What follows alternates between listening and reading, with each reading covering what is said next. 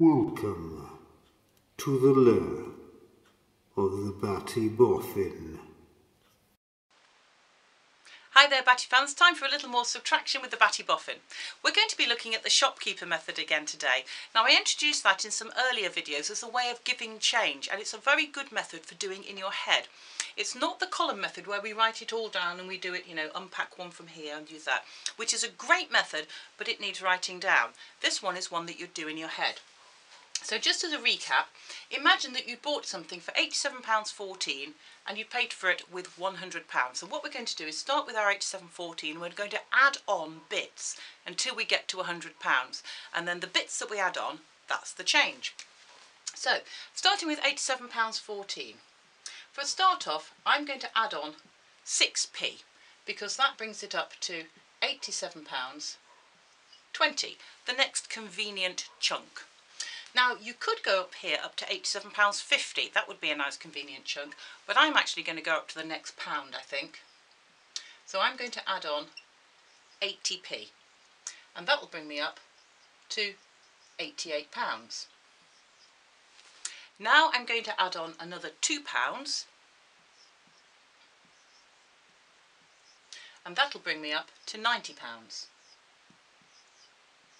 And then it's very easy from there £10 extra brings me up to 100. So that means that the change given all in all is £10 plus £2 plus 80p plus 6p. Or in other words, £12.86.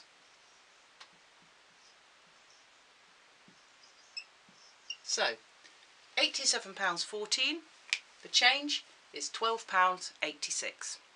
So, Pause for a couple of seconds while I wipe down this board and there'll be some for you to have a go at. Right, here are some for you to try. Now here I've drawn you a number line, which some people find helpful. If you like to use a number line, you go ahead and use it. There are quite a lot available for you to print out ready at www.battyboffin.co.uk. Pop along there to the download site and you'll find a whole load of different number lines and there's graph papers and grid papers and all kinds of different things. You just print out whichever ones are handy for you if you like to use those. So here we've got 10, 10 pounds, take away 2 pounds 27. So I'm just going to show you how we do it with the number line and then you're going to do the bottom one. So 10 pounds, that's over here. 2 pounds 27, that's, oh I don't know, about there. And you've got to hop all the way up to 10 pounds. And we're going to do it in convenient chunks. Well, first of all, I'm going to jump up, so that's 2 pounds 27. I'm going to do a very little short jump to £2.30. Okay, and that is 3p. And then I'm going to jump from £2.30 up to £3. And that is a jump from £2.30 to £3 is a jump of 70p. And then I'm going to jump from £3 all the way over to £10 and that's a jump of £7. So we've jumped by 3p, by 70p and by £7. So all in all we've moved £7 73 and that's the answer. That's the difference between 2.27, £2.27 and 10. So, your turn to pause the video and do exactly the same with that bottom one. You pause and do that now.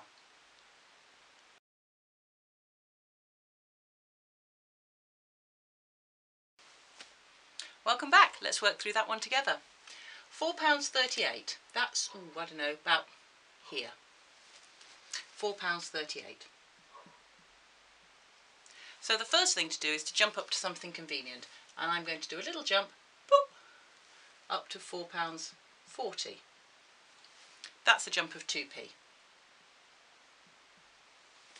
And then from £4.40, I'm going to jump to £5 that's the jump of 60p.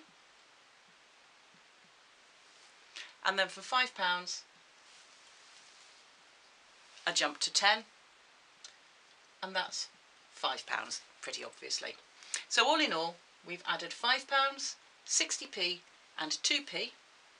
So the answer is £5, 62. Pretty easy, isn't it? Okay. I'll see you next time, Batty fans, for a little more subtracting. See you next time.